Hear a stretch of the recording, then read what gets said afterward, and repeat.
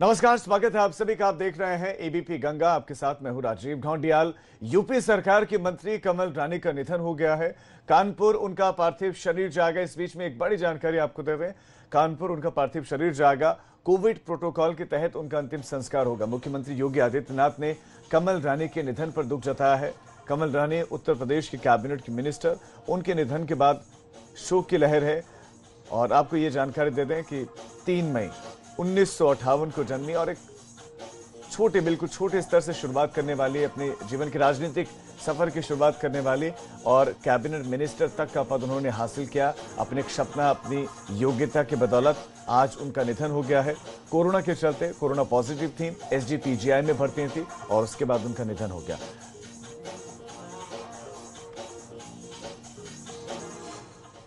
Cabinet मंत्री कमल रानी वरुण का निधन हो गया है और हम इस वक्त उनके बर्रा स्थित आवास पर मौजूद हैं। और अगर कमल रानी वरुण के व्यक्तित्व की बात की जाए तो वो कानपुर में बहुत ही ज़्यादा सुलभ थी और हर किसी से वो मंत्री और विधायक होने के बाद भी बड़ी आसानी से मिलती थी। इसी घर में वो अकेले रहती थी और उनकी जो एक बहू है वो साथ में रहती थी। जैसे ही लोगों को जानकारी मिली है, वैसे ही लोग जो हैं वो यहाँ पर उनके घरों पर पहुँच रहे हैं और उनके जो बहू हैं, उनकी जो भांजी हैं, उनको सांत्वना देने की जो सांत्वना देने के लिए यहाँ पहुँच रहे हैं। हालाँकि अभी जिस तरह से अगर पूरी घटना की बात की जाए तो कुछ दिन पहले ही उनकी जो रिपोर्ट है वो कोरोना पॉजिटिव आई थी, जिसके बाद वो लखनऊ में एडमिट की गई थी और जो उनके घर के सदस्य हैं, उनका कहना है कि सब कुछ ठीक ही था। अचानक से आज पता चलता है कि उनकी डेथ हो गई है और यहाँ आप देख सकते हैं कि जो उनके घर के लोग हैं, वो मौजूद हैं। हम उनकी जो बहू हैं, अनीता जी, उन्हीं से बात करते हैं। मैम, आपको कब जानकारी हुई और क्या बात हुई थी? आखिर बार आपकी कब बात हुई थी? जी, उनसे आखिरी बार तो जब भी बात हुई थी, मेरी तबीयत ख़राब थी तो कह रही थी कि मत जाओ, यहीं रहो। तो हम चले गए, हमने कहा, मम्मी, हम दो तीन दिन में आ जाएँगे। फिर वो लखनऊ चली गई। तो वहाँ ठीक थी, यहाँ से ठीक गई। उनको एक दिन फीवर आया। फीवर के बाद उनको बस चेकअप के लिए भेजा गया। तो वहाँ उनको ये जाँच में निकल आया, हल्का सा निकला था। फिर उनकी बेटी को भेजा, हमने गुड्डा जाइए बेटा, मम्मी की तो उसने गए तो वहाँ पर वो थोड़ा ज़्यादा संकट था। तो उनको संजय गांधी में डाल दिया पीजीआई में। फिर वहाँ वो पंद्रह दिन से वहीं थी। और कल दो दिन, चार दिन तक तो बराबर ठीक रही है। खाना पीना तीनों टाइम जा रहा था वहीं से लखनऊ से। खा रही थी, फल फलूट मंगा रही थी, खुद फ़ोन करके मंगा रही थी। लेकिन कल दो बजे से तबीयत उनकी गड़बड़ हुई। कल उनको फिर आईसीयू में डाल दिया, फिर थोड़ी देर बाद खबर आई कि वेंटिलेटर पर डाल दिया छः बजे करीबन। तो कल दामाद जी गए थे दोनों पोते गए, नाती गए थे, पोते गए थे, नाती।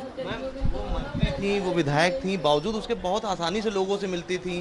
बहुत किस तरह का नेता था कैसे याद करती वो कभी अपने आप को नेता समझती नहीं थी। वो समझती थी सब मेरे अपने हैं हमारे सब हम सबके हैं। तो हम नेता की तरह नहीं मिल रहे हमें सबको देखना है सबके लिए काम करना है सबके लिए सब कुछ करना है। तो सबको देखती थी। कभी उन्होंने अंतिम संस्कार के लिए अभी क्या प्रक्रिया करेंगे आप लोग? कहाँ पर अंतिम संस्कार? भैरव घाट में ही होगा भैया और उसके बाद फिर हमारा हमारे यहाँ सबका जाता है वहाँ। क्या कहते कलकत्ते इलाहाबाद तो वहाँ जाता है।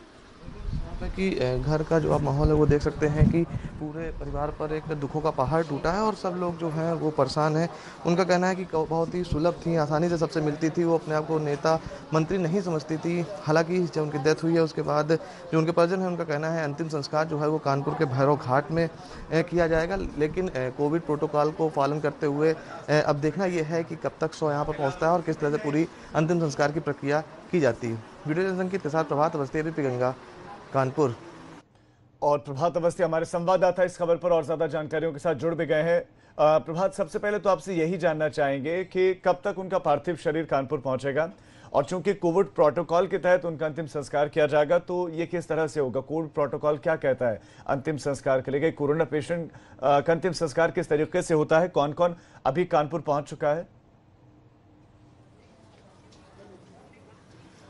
जी, बिल्कुल राजीव, आपको बताना चाहूँगा कि अगर पूरे अभी की अपडेट की बात की जाए तो अभी उनका शो जो है, वो लखनऊ से कुछ समय बाद चलेगा, क्योंकि जो उनके परिजन हैं, उनके लगातार जो लखनऊ में उनकी बेटी और उनका दामाद मौजूद है, उनसे बात हो रही है तो उनका कहना है कि कुछ समय बाद वहाँ से जो पार्थिव शरीर है, वो कानपुर की तरफ़ आएगा। हालाँकि घर आएगा या नहीं आएगा, इसके बारे में भी आधिकारिक पुष्टि नहीं हो पा रही है, क्योंकि कोविड प्रोटोकॉल को फॉलो करना है, क्योंकि कोरोना पॉजिटिव थी वो, लिहाजा उसको लोगों से दूर रखना और उसका फिर अंतिम संस्कार करा जाएगा। लेकिन अभी जो जानकारी मिल मिल रही है उसके अनुसार ये है कि लखनऊ से चलने के बाद जो शरीर है जो पार्थिव शरीर है उसको पुलिस लाइन जा, लाया जाएगा जहाँ पर क्योंकि कैबिनेट मंत्री हैं उनको सम्मान के स्वरूप रखा जाएगा और जो अंतिम दर्शन करने के बाद उनका भैरव घाट जो है वहाँ पर अंतिम संस्कार कराया जाएगा। लेकिन अभी किस तरह की क्या तैयारियाँ हैं? क्योंकि अगर हम लोग घर के बाहर मौजूद हैं और अपने सहयोगी अंकित से चाहूँगा, वो दिखाए कि घर पर भी काफ़ी जो लोग हैं, वो आ रहे हैं लगातार।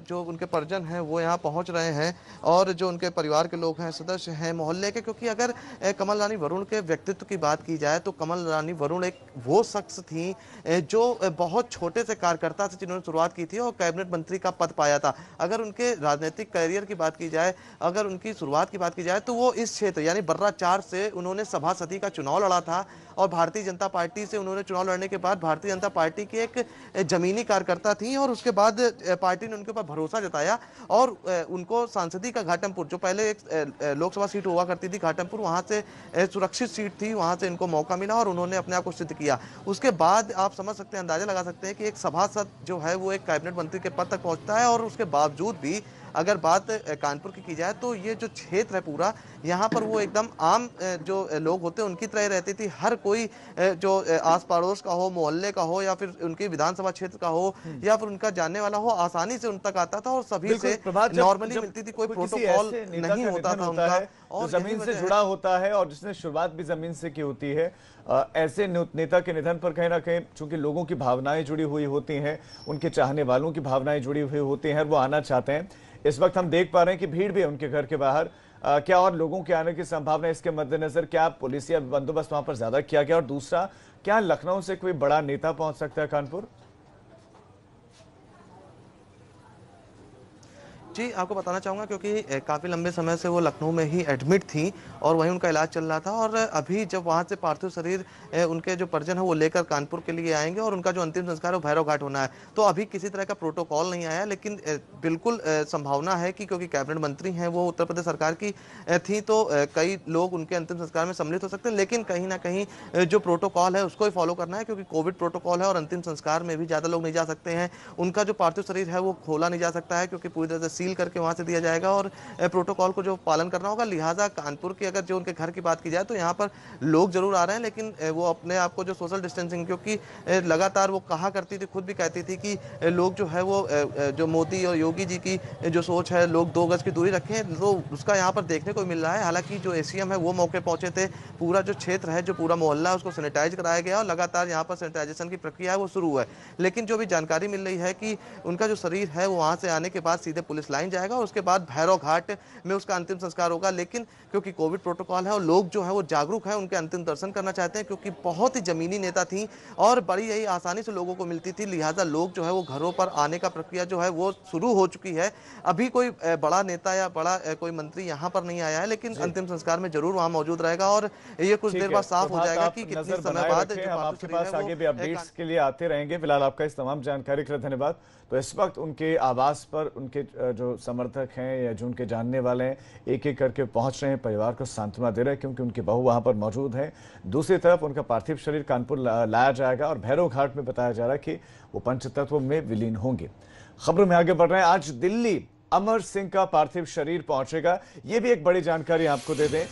राज्यसभा सांसद और पूर्व समाजवादी पार्टी के नेता अमर सिंह, उनका पार्थिव शरीर करीब साढ़े तीन बजे पहुंचेगा, साढ़े तीन बजे दिल्ली पहुंचेगा। अमर सिंह का पार्थिव शरीर और विशेष विमान के ज़रिए उनका पार्थिव शरीर सिंगापुर से लाया जाएगा। ये बड़ी खबर इस वक्त आपको दे दें। और ये भी बताया जा रहा है कि अंतिम संस्कार कल हो सकता है। कल अमर सिंह का अंतिम संस्कार हो सकता है। अमर सिंह सिंगापुर के एक अस्पताल में उनका निधन हो गया है। और अब उनका पार्थिव शरीर भारत लाया जाएगा। साढ़े तीन बजे बताया जा रहा है कि करीब उनका पार्थिव शरीर एक विशेष विमान के ज़रिए भारत लाया जाएगा। अंतिम संस्कार कल हो सकता है। यानी कि अंतिम दर्शनों के लिए उनका पार्थिव शरीर रखा जा सकता है। तो एक लंबी यात्रा रही अमर सिंह की, लेकिन आखिरी वक्त में गुमनामी में खो गए थे। इस बीच में आपको यह भी जानकारी दे दें कि मार्च महीने तक में, तक ये अफवाहें भी उड़ी थी कि मुलायम सिंह यादव माफ़ कीजिएगा, अमर सिंह का निधन हो गया, लेकिन इन्हीं खबरों का, इन तमाम अफवाहों का उन्होंने खुद खंडन किया था और अब उनका निधन हो गया है। सिंगापुर के एक अस्पताल में उनका निधन हुआ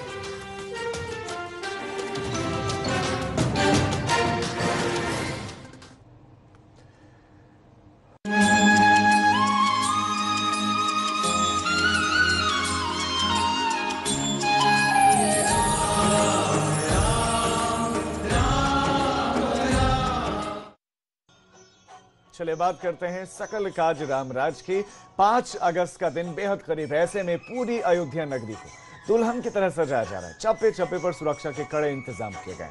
पाँच अगस्त के इंतजामों को पाँच तस्वीरों के ज़रिए हम दिखाते हैं। भूमि पूजन पर भव्य तैयारियाँ हैं। पूजा पाठ भी शुरू हो गया है। दुल्हन की तरह अयोध्या को सजाया गया है। और कहीं पर भी ऐसा नहीं है कि कोई कमियाँ छोड़ी जा रही हो। दीवारों से लेकर, सड़क से लेकर घर घर से लेकर लोग घरों के भीतर अपनी साजो सज्जा कर रहे हैं। दिए जला रहे हैं तो बाहर अयोध्या को रंगा जा रहा है।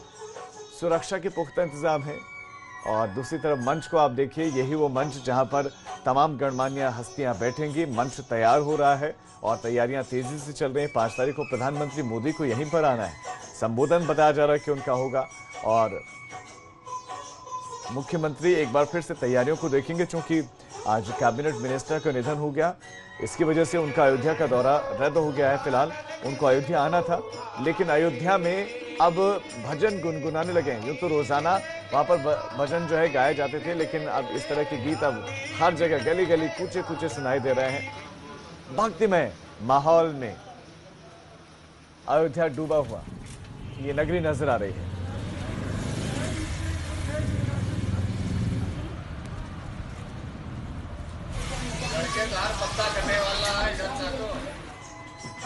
पूरी अयोध्या नगरी को साफ़ और सुंदर बनाया जा रहा है। जगह जगह भगवान राम की तस्वीरें भी आपको देखने को मिल जाएँगी, लेकिन एबीपी गंगा को वो एक्सक्लूसिव तस्वीर मिली है जहाँ पर पीएम मोदी बैठेंगे और भूमि पूजन का कार्यक्रम होगा। ये देखिए तस्वीर, भूमि पूजन के लिए बनाए गए मंच की एबीपी गंगा आपको ये एक्सक्लूसिव तस्वीरें दिखा रहा है। यहीं पर आज से तीन दिन बाद, यानी कि पाँच अगस्त को भूमि पूजन का कार्यक्रम होगा। आप अगर अभी से देखेंगे तो अरेंजमेंट्स कुछ इस तरह का दिख रहा है कि सोशल डिस्टेंसिंग का पालन हो सके। जो ये जर्मन हंगर यानी कि जो टेंट लगाया गया है, ये वाटर प्रूफ टेंट है, क्योंकि तो मौसम मानसून का है, बारिश कभी भी हो सकती है। और इसलिए बारिश की वजह से कार्यक्रम में किसी तरह का खलल ना पड़े। इसलिए ये विशेष टेंट लगाए गए हैं। कुर्सियाँ देखेंगे आप अगर तो कुर्सियाँ ऐसे रखी गई हैं कि सोशल डिस्टेंसिंग का आराम से यहाँ पर पालन किया जा सके। यानी कि एक उचित दूरी पर ये कुर्सियाँ रखी हुई दिख रही हैं। देखिए कितना खूबसूरत टेंट बनाया गया है और यहीं पर प्रधानमंत्री नरेंद्र मोदी भी आएँगे।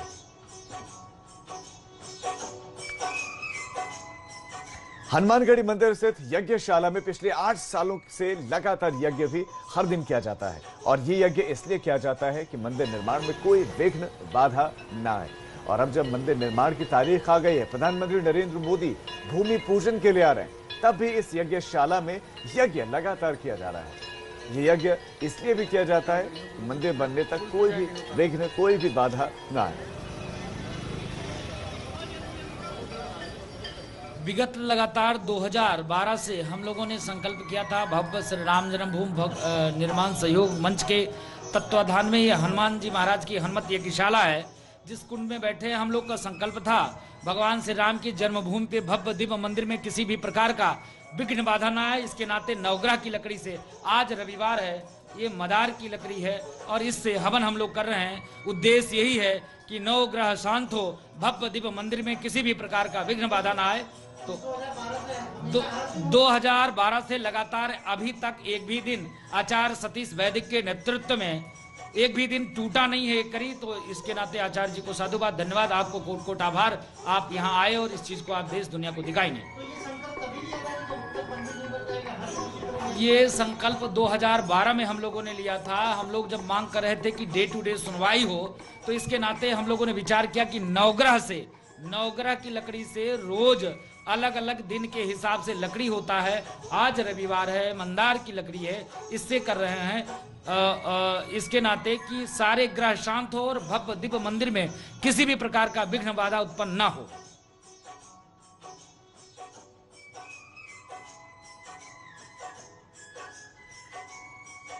हनुमानगढ़ी से जुड़े कुल छह महंतों को भूमि पूजन में शामिल होने का निमंत्रण मिला। इनमें हनुमानगढ़ी के मुख्य पुजारी महंत राजूदास भी शामिल है।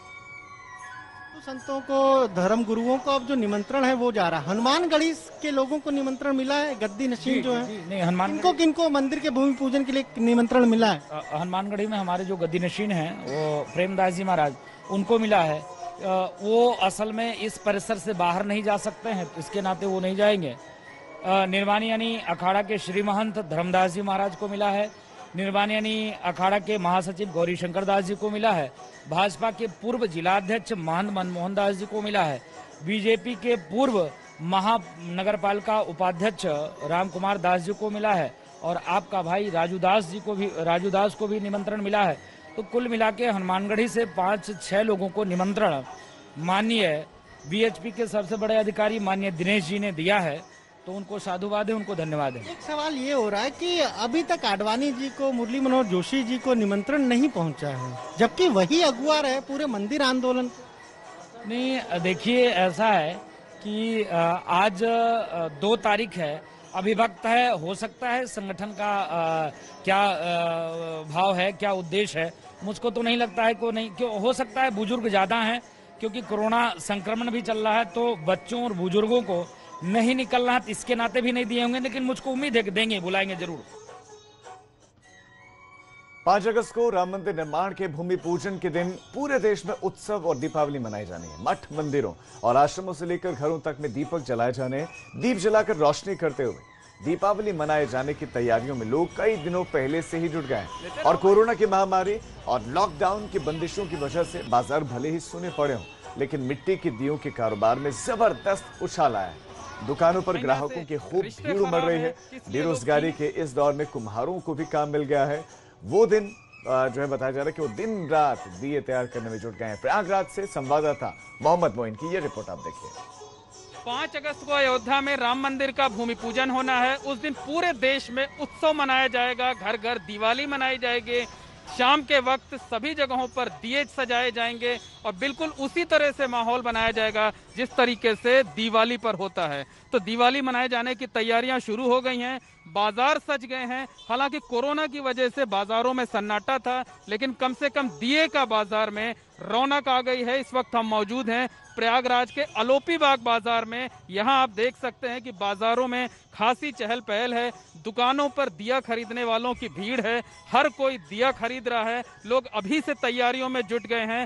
पहले लोग चाइनीज़ सामानों का इस्तेमाल कर लेते थे चाइनीज़ मोमबत्तियाँ जलाते थे चाइनीज़ दिए का इस्तेमाल करते थे। लेकिन चूँकि इन दिनों चाइना से रिश्ते खराब हैं, इसलिए लोग चीनी सामानों का बहिष्कार कर रहे हैं, लोग मिट्टी के दिए खरीद रहे हैं, दुकानों पर खासी चहल पहल है, खासी भीड़ भाड़ है, इससे कुम्हारों को जहाँ रोज़गार मिल गया है, वहीं मिट्टी का कारोबार, मिट्टी के सामान बनाने वाले दुकानों, दुकानदारों के चेहरे भी खिल गए हैं। उनकी दुकानों पर खासी चहल पहल देखने को मिल रही है लोग जो है दिए खरीद रहे हैं। इस वक्त हाँ आपको तस्वीरें दिखाना चाहेंगे। ये देखिए, हाथ में दिए लेकर लोग खड़े हैं। जरा भाई साहब, ये अपने दिए दिखाइए और थोड़ा सा आगे आ जाइए आप भी। ये बताइए कि आप दिए की खरीदारी कर रहे हैं। इतना ढेर सारा दिया आपने क्यों खरीदा है? किस मौके पर इसका इस्तेमाल होगा? सर, हम लोग भगवान राम के पावन उपलक्ष्य पे जो अपने घर आ रहे हैं, इस उपलक्ष्य में हम लोग खरीदे हैं और हम लोग आश्रम वासी है। हम लोग पूरे आश्रम में, यानी दिया को जलाने का हम लोग कार्य करेंगे। इस उपलक्ष्य में हम लोग ये किए जी। और पाँच अगस्त को जी ये भाई साहब कुछ बता रहे हैं। भाई साहब दिया खरीदने आए हैं। किस उपलक्ष्य में दिया खरीद रहे हैं? एक्चुअली जो पाँच अगस्त को राम मंदिर का जो शिलान्यास किया जा रहा है तो हाँ भूमि पूजन तो उसके लिए हम लोग घर में अपना दिया जला के वहाँ तो जा नहीं सकते हैं तो इसके लिए हम लोग घर पे ही अपना जो है दिया जला के उसका स्वागत करेंगे। कई दिन है लेकिन पहले से ही आपने तैयारियाँ शुरू कर दी। जी हम लोगों ने बहुत पहले से। दिन बचे हैं सर। पाँच दिन बचे हैं तो तैयारी करने में दो चार दिन तो लगेंगे ही ना सर। बिल्कुल आप देख सकते हैं कि तैयारियाँ ठीक उसी तरह से की जा रही हैं जिस तरह दीपावली के त्योहार को लेकर तैयारियाँ की जाती हैं। तो दिवाली मनाने को लेकर बाज़ार गुलजार हो चुका है दुकानदारों के चेहरे खुल गए हैं और मिट्टी के दियों की बिक्री जमकर हो गई है। कुम्हारों को रोज़गार मिल गया है और दुकानदारों का काम बढ़ गया है। कैमरामैन रोहित श्रीवास्तव के साथ मोहम्मद मोइन एबीपी गंगा, प्रयागराज। पाँच अगस्त को होने जा रहे भूमि पूजन के लिए तीर्थ स्थलों की मिट्टी और नदियों का जल भेजे जाने का सिलसिला लगातार जारी है। संगम नगरी प्रयागराज के जिस तीर्थ स्थल श्रृंगवीरपुर धाम में हुए यज्ञ की वजह से भगवान राम का जन्म हुआ, वहाँ की मिट्टी और गंगा जल भी अयोध्या भेज दिया गया है। गंगा जल को कलश में भरकर अयोध्या रवाना किया गया है। इस मौके पर श्रृंगवेरपुर धाम में विधि विधान के साथ पूजा अर्चना की गई और साथ ही गंगा मैया की विशेष आरती भी हुई। खास मौके पर कई धर्माचार्य और तीर्थ पुरोहित मौजूद थे, धार्मिक मान्यताओं के मुताबिक। श्रृंगवेरपुर में श्रृंगी ऋषि द्वारा किए गए पुत्रेष्ठी यज्ञ की वजह से ही भगवान राम का जन्म हुआ था। अब एक छोटे से